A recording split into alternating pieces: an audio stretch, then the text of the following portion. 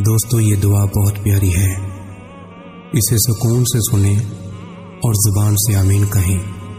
और इसे दूसरों तक पहुँचाए, हो सकता है कि दूसरे लोगों की आमीन से अपनी दुआ कबूल हो जाए। आमीन। अल्लाह रब्बुल इज़्ज़त, ए सारी कायनात के शहनशाह, ए सारी मखलूक के पालने वाले, ए ज़िंदगी मौत का फैसला करने वाले ए आसमानों और ज़मीनों के मालिक, ए पहाड़ों और समंदरों के मालिक, ए इंसानों और जिन्नातों के माबूद, ए अरश आज़म के मालिक, ए फरिश्तों के माबूद, ए इज़्ज़त और ज़िल्लत के मालिक, ए बीमारों को शिफा देने वाले, ए बादशाहों के बादशाह, ए अल्लाह हम तेरे गुनाहगार बंदे हैं, तेरे खताकार बंदे हैं। हमारे गुनाहों को माफ़ फरमा। हमारी खताओं को माफ़ फरमा। ए अल्लाह, हम अपने अगले, पिछले, सगीरा, कबीरा सभी गुनाहों, खताओं और नाफरमानियों की माफ़ी मांगते हैं। ए अल्लाह, रब्बुल इज़्ज़त, हम अपने गुनाहों से तोबा करते हैं। हमारी तोबा कबूल फरमा। ए अल्लाह, हम गुनाहगार हैं सियाकार हैं, बदकार हैं। तेरे अहकाम के नाफरमान हैं ना शुक्रे हैं।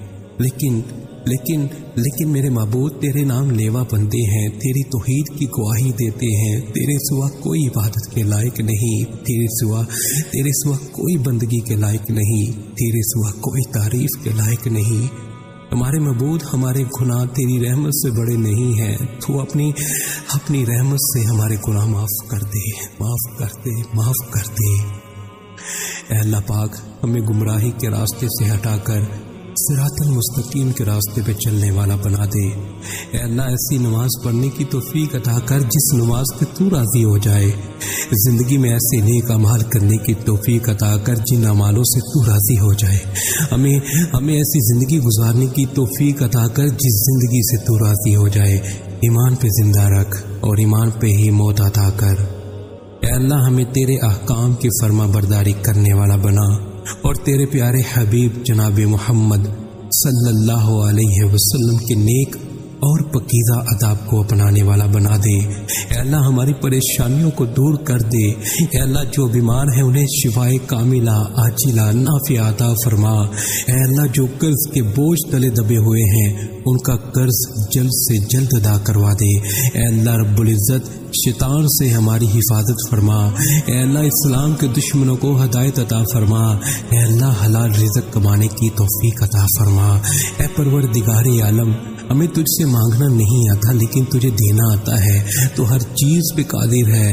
ए अल्लाह, जो मांगा वो भी अता फरमा, पर जो मांगने से रह गया वो भी अता फरमा।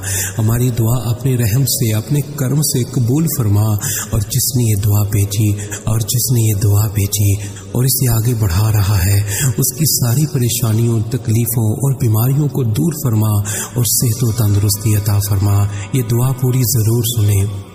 ए मेरे परवरदिगार।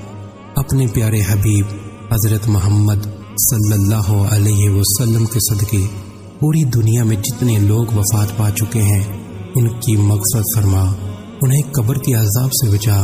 जो बीमार हैं या परेशान हैं तो उनको अपने कर्म से माफ़ फरमा और उनकी बीमारी और परेशानियों को दूर फरमा। ए मेरे अल्लाह ए प्यारे हबीब सल्लल्लाहु अलैहि वसल्लम के सदके, जिसने मुझे ये दुआ भेजी, उसके तमाम गुनाहों को माफ़ फरमा। और हर काम में कामयाबी अता फरमा और उसका नसीब खोल दे मेरे अल्लाह। या रब्बुल आलमीन, पूरी दुनिया में कोरोना वायरस से दुनिया परेशान है। मौला तेरे गुनाहगार, सियाहकार, खताकार बंदे, मौला तुझे पुकार रहे हैं। मौला तू ही है वो तू ही है, मौला तू ही है। तू बड़ा कारसाज है, तू बड़ा कारसाज है। मौला तुझे तेरे हबीब का वास्ता, मौला तमाम उम्मत मुसलमा को, मौला इस मोजी बीमारी से महफूज फरमा। मौला जो इस बीमारी में मुबतला हैं। मौला उनको शिफाई कामिला अचिला नाफियाता फरमा यरबालमीन जिस बीमारी की वजह से दुनिया फानी से रुखसत हो चुके हैं, मौला उन मुसलमानों की मकफत फरमा।